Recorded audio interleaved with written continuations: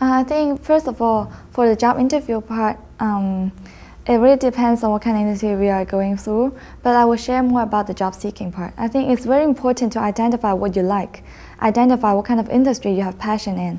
It's not like um, following the others to apply for all those jobs you don't like.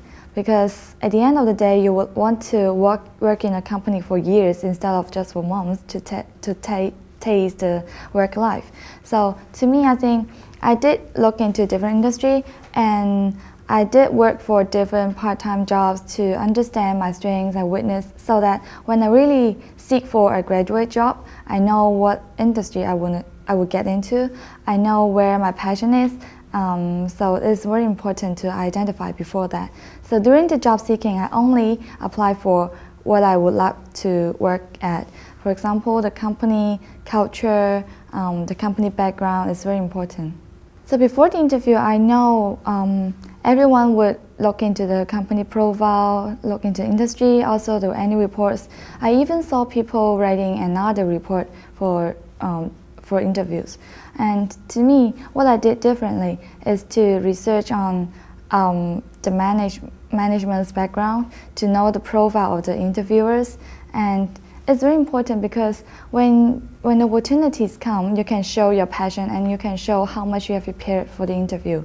It's very critical for each and every one of us to show our passion towards the company, to show that we are not like doing mass application, but um, particularly towards this company, the company culture, company background, and also I'll show your care about the company. For example, I did competitor analysis, analyzing other competitors of that company, and be ourselves because um, we have to be honest to ourselves to know what kind of what strengths and weakness um, we have, and where's our passion, um, where's our interest, so that you can show your true self to to the future employer. I would say, um, to make sure um, it's the same one during the interview and doing the job.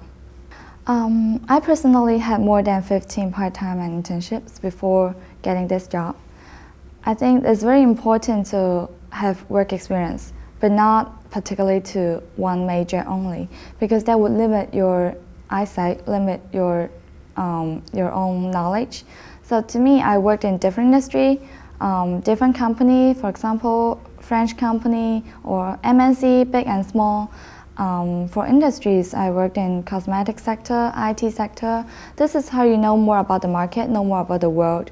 No employee would like someone who are so um, constrained in certain major or industry. So I think it's good to look for uh, different work experience, but in different industries and not regarding to a particular major.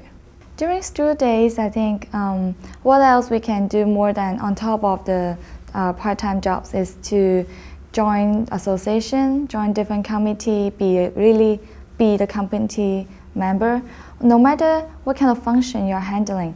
This is how you get a taste to work out the teamwork and how to lead the whole committee members together to achieve something. I myself joined different associations like I debate team and also the business association in CUHK.